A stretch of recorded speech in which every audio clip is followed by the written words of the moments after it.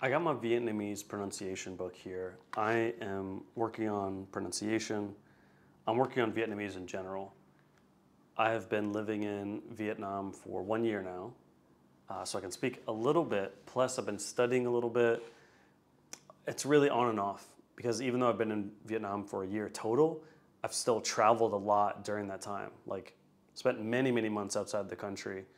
And so for the last five months, I've just lived in Vietnam and I'm like learning the language. Like I'm, I'm actively trying to learn the language. So I have here a book of pronunciation. You can see, and I think this book is phenomenal. Uh, u, a, ua, b, u, a, bua. So, you know, you can go across and keep doing this. The thing is, you need someone else to do this book with. Like, they, like, you know, someone needs to sit there and literally go through this with you. Um, but it's, I mean, it's been really helpful for me in my pronunciation. I think I'm doing pretty good. Like, I get a lot of people's reactions like, whoa, your pronunciation. And I like that. Like, I, I can barely say anything. I don't know much vocab, but my pronunciation, I think, is good. At least people are saying it uh, which is what I want. I can still tell there's some things I'm like forgetting or having difficulty pronouncing, so I spend more time working on it, and that that's what I, you know, like about this. One of the things I wanted to share with you is I mess up a lot of times in the language, and they're pretty bad mess ups.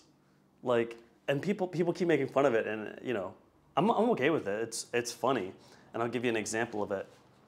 Uh, to say you know, I go to the gym, right? I, I go to the gym a lot. I, I, like the gym, and it's a big hobby of mine. I'm going four to five times per week. So I want to talk about that. So someone would ask me, and I would say, uh, you know, if they're younger than me, I might say, an the top game. And that's the correct way to say it now. The top game. Uh, and I still might, might need to work on that. But what I used to say was, an the top team like gym. I want to say gym, so on the type gym.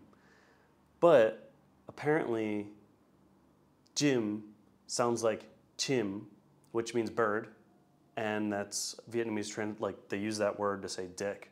So I would go say, go work out my dick. that's like a pretty bad mistake to make all the time, right? And I wanted to tell, this is before I knew this mistake. And the reason I learned it was a mistake is I'm sitting around all these Vietnamese people and we're talking about gyms. I'm trying to like go into detail about it, and uh, you know, this one girl was talking about her gym, and she was this big gym, and I wanted to tell her I go to a small gym.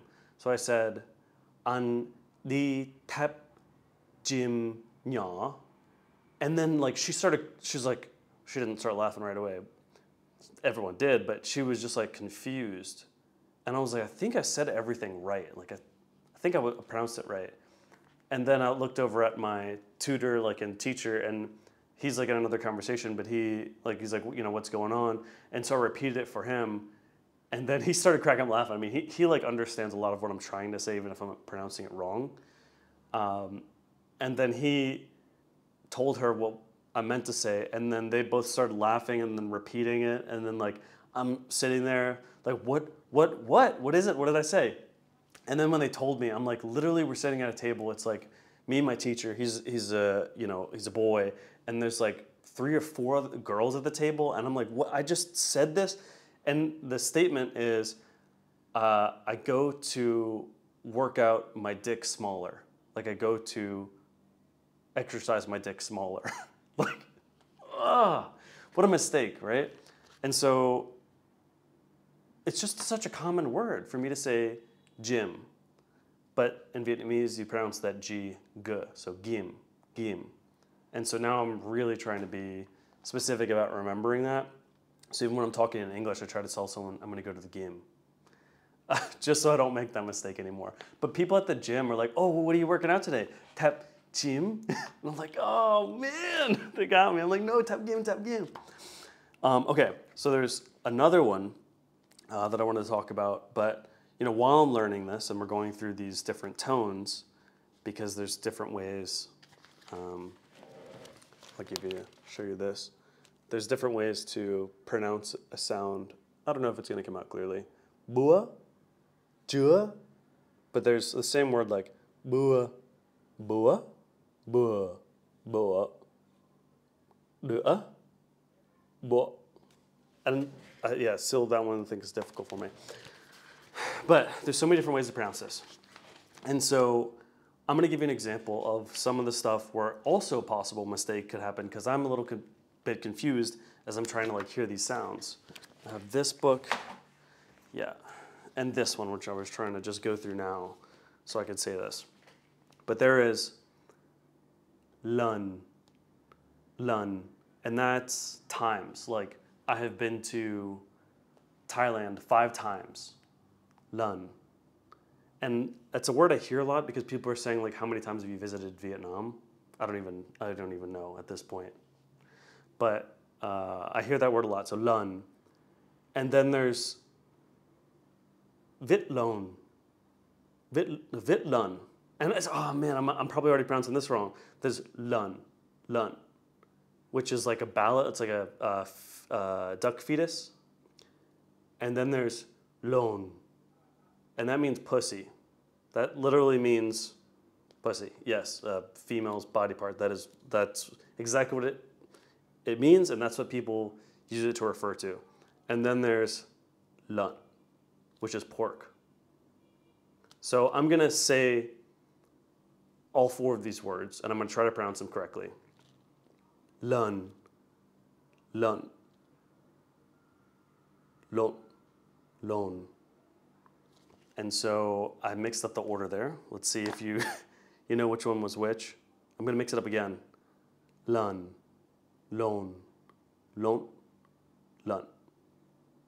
So to me, those sound very, very similar.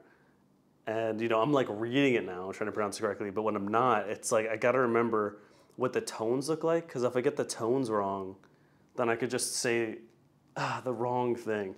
The the good thing is Vietnamese people like they love joking. They just they're they're humorous and they love like s- shooting some you know back and forth conversation or joking around a lot in conversation. So it'd be okay. And people know that I'm a foreigner, so if I mess up something, that's fine. I'm sure I've accidentally said something like that before.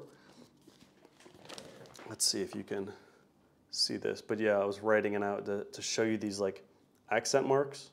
I mean, you can see that I wrote this here, but uh, here's the accent marks. So I can literally uh, remember this. But yeah, just some simple examples of learning Vietnamese and where mistakes happen.